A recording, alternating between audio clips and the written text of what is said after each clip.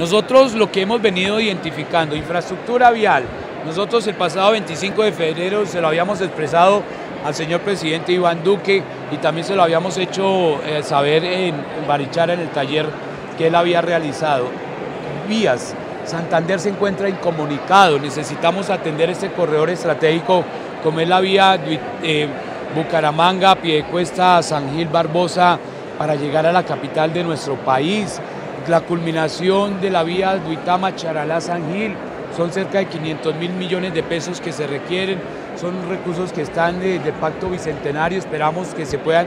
desentrabar o descongelar para culminar este corredor. La vía Curos Málaga, que nosotros se la habíamos expresado, ya el gobierno anunció cerca de 320 mil millones que se requieren más o menos a traer a valor presente para atender la pavimentación de lo que hace falta, pero ahora hay que sumarle cerca de 180 mil millones con las obras de mitigación para atender el corredor entre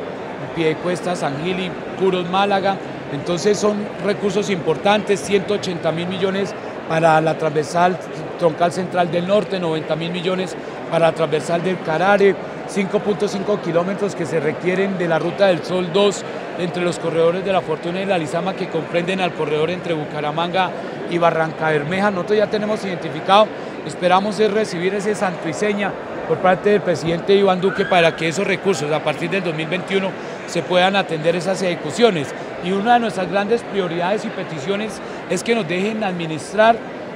el, recaudo de los peajes de, de Pescadero, de Curití y hoy va para poder atender esta infraestructura que hoy se necesita y grandes obras, doble calzada entre Bucaramanga, San Gil, pasos de adelantamiento,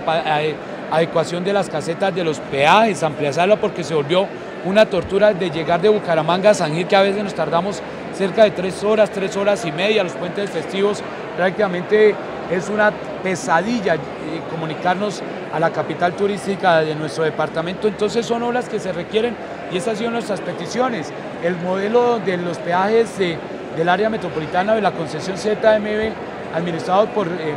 por IDESAN es un modelo exitoso que hoy muchos departamentos lo han venido pidiendo. Entonces así mismo le pedimos al señor presidente que nos dejara administrar el recaudo del peaje de estos 13, de estos 13 cobros para poder atender este corredor principal y desde luego otras obras importantes, las conectantes a la variante de San Gil, para poder tener una verdadera variante y sobre todo que tenga esos canales de acceso de los municipios de Cabrera, de Barichara, la conectante del aeropuerto de San Gil. Entonces son obras que se requieren así como otras variantes de Socorro, Oiva, que se han venido pidiendo.